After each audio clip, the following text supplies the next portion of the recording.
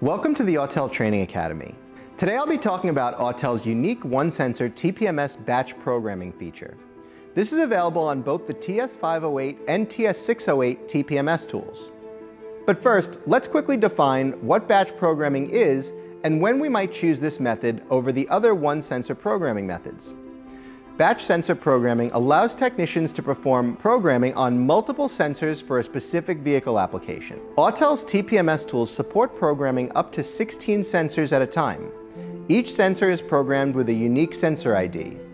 The only difference between this method and other programming methods, such as copy by activation, copy by OBD, and copy by input, is that the batch program sensors have unique IDs and are not based on any existing sensor information contained within the vehicle. A relearn will always be required to register the new IDs to the control module. Programming sensors this way might be the perfect time-saving option for techs who are replacing a complete set of sensors or servicing fleet vehicles such as police, fire, and medical response. You could create a TPMS part bin for each type of fleet vehicle. Autel One sensors can be pre-programmed and kept on the shelf ready to go anytime a sensor needs to be replaced. Let us perform this programming method using the TS608. Here are the steps. Today we're programming four sensors for this 2018 Nissan Altima. We plug the TS608's VCI into the OBD2 port, put the vehicle in the on position. The TS608 is powered on and paired with the Bluetooth VCI. We select TPMS, AutoVIN, then Auto Detect, and the tablet has ID'd the vehicle as a Nissan.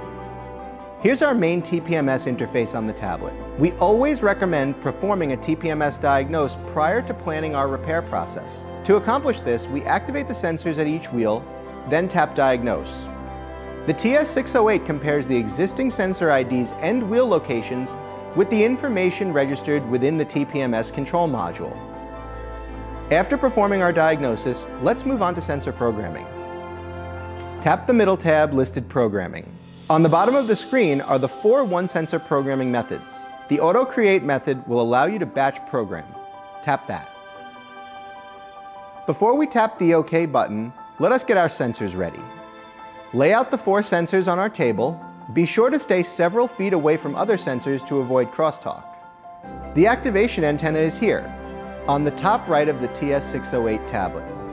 It is important to remember that only the sensors that you want to program are laid out in front of the tablet, because once we tap OK, the tool then determines the number of one sensors before it and displays this message. Four sensors were detected. Do you want to continue? We tap OK and the TS608 programs the four sensors for this vehicle application with each sensor having its own unique ID. The IDs are displayed in this first column. We're all set. Install the sensors in the tires and perform the relearn procedure specific to this vehicle. For more information about Autel TPMS tools and sensors, visit us at autel.com or maxitpms.com. Thanks for watching.